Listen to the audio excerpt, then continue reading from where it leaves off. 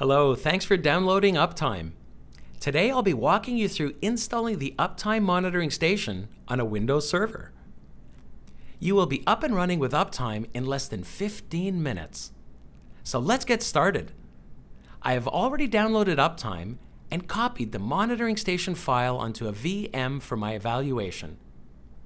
Double-clicking on the installer executable will start a standard Windows application installation process.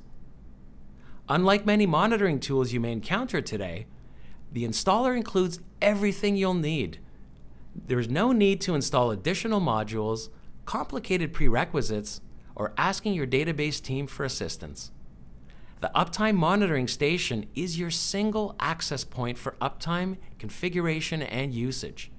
And it includes all product features and functions with no fuss, giving you immediate access to Uptime's powerful server, network, and application performance monitoring, as well as capacity planning and IT SLA reporting capabilities.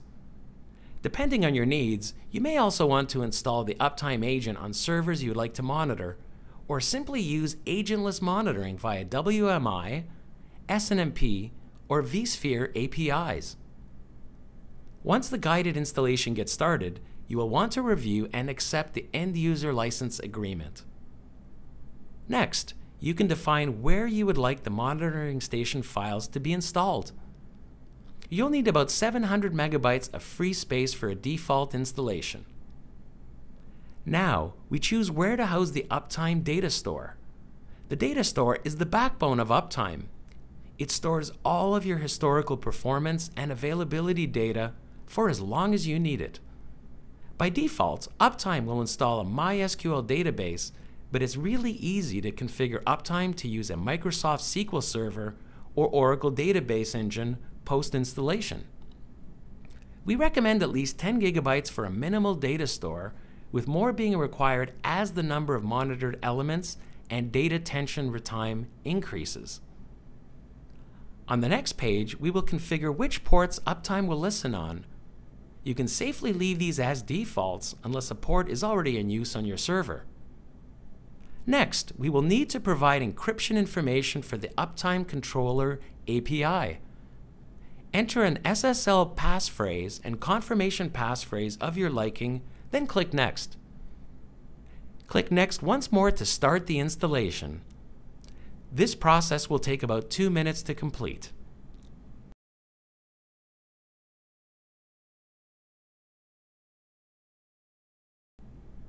The first time you open Uptime, it will prompt you to enter a password and confirmation password for the admin user, as well as set an administrator email address and email server settings. The email server settings are populated automatically, but you may need to adjust these to match your corporate email server settings. When you are ready, click Login. You are now prompted to enter your Uptime license key. You will find your license key on the Uptime website where you downloaded the monitoring station, and it was also emailed to the address you provided during registration. Today, I'll simply copy the license key from my download page and then paste it back into the Uptime monitoring station prompt, then click Update License. Congratulations, you have successfully installed Uptime, and now you can begin monitoring your servers, network devices, and applications. Wasn't that easy? In our next series of videos, you will learn more about configuring uptime and accessing the most commonly used tools to help you improve your IT service delivery and become more proactive about managing your data center. Thank you, and we hope you enjoy using Uptime.